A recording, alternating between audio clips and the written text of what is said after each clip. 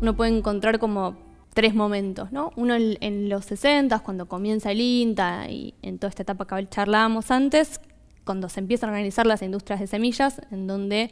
eh, si uno reconstruye esas,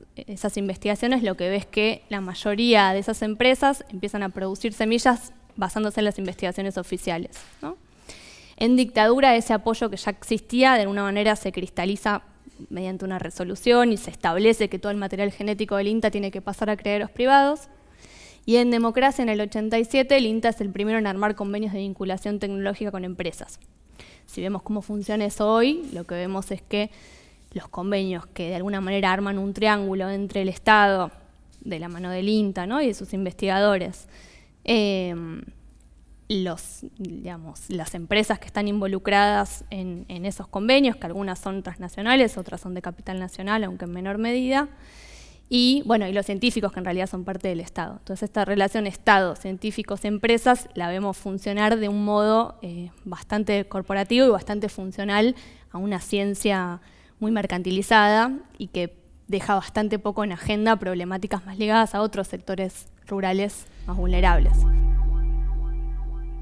la manera que tenemos de producir en nuestro país, digamos, el esquema de acumulación que existe, e, el agronegocio, como se lo conoce hoy, necesita, digamos, tiene una pata clave en los conocimientos científicos que están implicados en esas transformaciones productivas. Entonces, de alguna manera tenemos una ciencia, por supuesto con excepciones, por supuesto con miradas críticas en algunos espacios, pero en líneas mayoritarias una ciencia que es funcional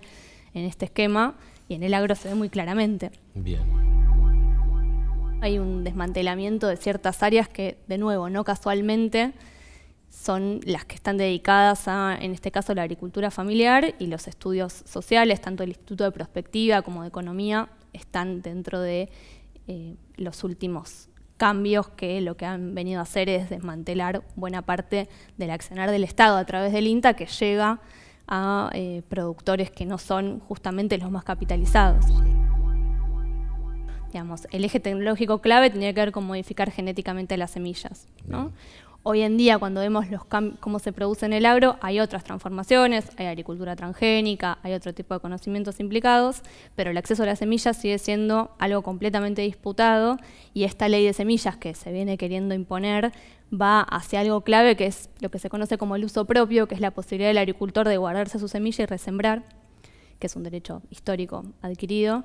y que eh, justamente esta ley viene a avanzar, ¿no? hablábamos de la mercantilización de la ciencia, bueno, también en la mercantilización de la naturaleza, claramente, y eh, pasaría a estar penado este uso propio, por lo cual tendrían que pagarse. Si bien la forma de producir hoy no es la misma en el campo que en los 70, sí es igual y fue creciente, que eso digamos, que esa manera de producir haya sido en forma cada vez más concentrada, con cada vez más expulsiones de productores chicos del campo, con éxodo rural, con problemáticas sociales, hoy en día con nuevas problemáticas ambientales asociadas al uso de agrotóxicos. Entonces lo que vemos es que no ha habido una revisión estructural en los sucesivos gobiernos que pusieran en agenda la necesidad de rever cómo se produce, quién se apropia de las ganancias derivadas del agro, cómo se distribuye la tierra en nuestro país, digo, cuestiones completamente estructurales y actuales que no han tenido una solución en democracia.